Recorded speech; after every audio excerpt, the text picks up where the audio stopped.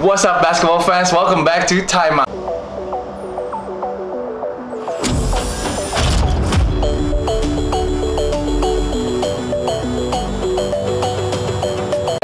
Rocky Padilla dan gue sekarang ingin membahas tentang tim nasional uh, Indonesia yang berlaga di tes event Asian Games kemarin ini.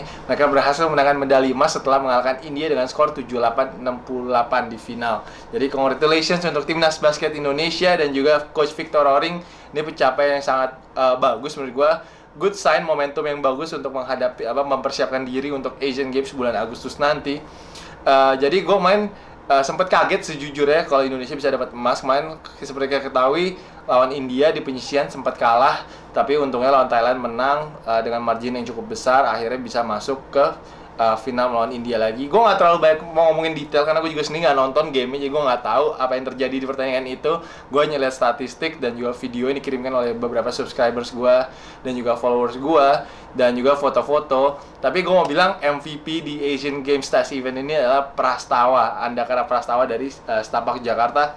Luar biasa gue uh, bilang sta- uh, grafik permainannya Pras lagi naik sejak melawan Pelita Jaya. Waktu itu dia mengalahkan Pelita Jaya itu uh, sempat cetak uh, three pointers uh, yang lumayan clutch jadi dari situ grafiknya mulai naik permainannya. Dan ternyata kayak coach Victor Loring pun kayak suka banget dengan Pras sehingga dia kayak ngasih Pras itu kebebasan bermain sehingga Pras itu bisa berkreasi di lapangan.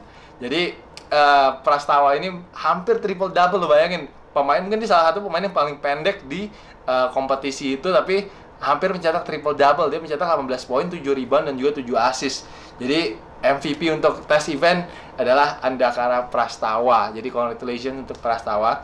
Tapi selain Prastawa Xavieris Prawiro juga main di final mainnya bagus. Uh, mencetak 15 poin. Adi Pratama juga bagus mainnya 10 uh, 10 poin dan 9 rebound walaupun dia harus menjaga si Satnam mantan pemain Dallas Mavericks itu. Dan di foto itu kalau lihat bedanya jauh banget padahal kalau Adi itu di antara orang Indonesia udah gede banget. Tapi sebelah Satnam kecil banget sih Adi. Tapi uh, good job Adi. Uh, mainnya udah bagus banget di final. Dan untuk Arki kemarin juga sempat nggak main. Untungnya uh, walaupun Arki nggak main Indonesia bisa tetap dapat medali emas karena Arki adalah salah satu pemain kunci juga di Indonesia. Dan Arki itu malah mungkin masih ada problem dengan shouldernya sehingga nggak mau ambil uh, apa ya resiko kalau cederanya akan makin panjang. Tapi uh, gue cukup senang dengan uh, apa ya prestasi Indonesia di tas event ini ini adalah sebuah momentum untuk mempersiapkan diri. Mungkin nanti gue yakin kayak masih ada opsi lain nanti pemain-pemain lain yang belum dipanggil karena sibuk dengan timnya seperti pemain beberapa pemain Chelsea Indonesia.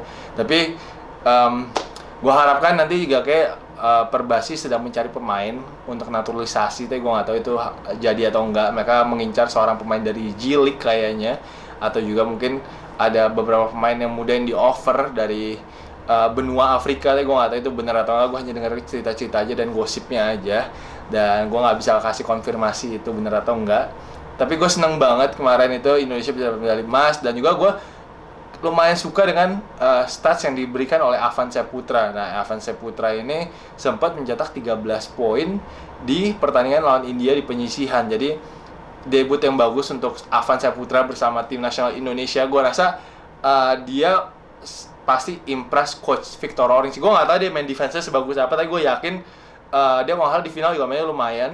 Jadi gue yakin Avan Saputra ini udah mulai dilirik sama coach uh, Victor Oring mungkin untuk Asian Games nanti. Tapi itu aja sih yang gue bisa share ke kalian. Uh, gue juga kemarin nggak tahu sebenarnya India itu timnya full tim atau enggak tapi kalau emang India ini full tim sih uh, luar biasa banget ya untuk Indonesia bisa mengalahkan India. Jadi mereka punya kans untuk bersaing nanti di Asian Games tapi gue sekarang mau share dulu uh, beberapa klip yang dikirimkan oleh dua uh, subscribers dan juga Instagram followers gue. Yang pertama ada dari @thomassw uh, 27 underscore. Gue lihat dulu gue nyontek dulu nih. @thomassw uh, 27 underscore. Dan juga satu lagi dari at Adrian Ray underscore. Jadi thank you banget guys untuk dua orang itu yang udah kasih gue video klip-klip uh, ini. Ada satu klip keren banget yaitu Pras melakukan floater di depannya saat 6 itu gila gue sampai teriak tapi pas ngeliat itu tuh keren banget. Kalau gitu langsung aja kita lihat klipsnya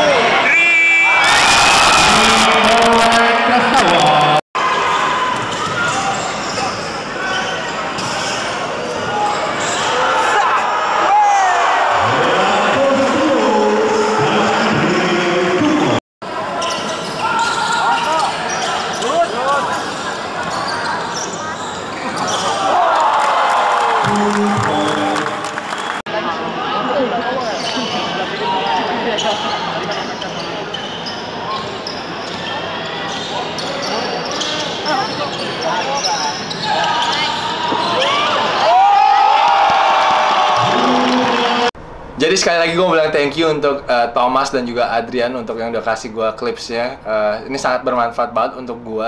Jadi uh, itu aja sih guys bagi kalian yang kemarin sempat datang ke Asian Games Test Event ini mungkin punya cerita yang lain, mungkin kalian suka dengan pemain siapa yang mainnya bagus bisa langsung share di comment section uh, comment section di bawah dan jangan lupa juga untuk kasih like video ini bagi yang belum subscribe please subscribe kita udah mau 10.000 ribu uh, subscribers sedikit lagi uh, gue mau bilang selalu thank you banget guys for the support. I really appreciate it. Semoga semua video gue ini bermanfaat untuk kalian. And thank you guys for watching. I'll see you guys in the next video. Peace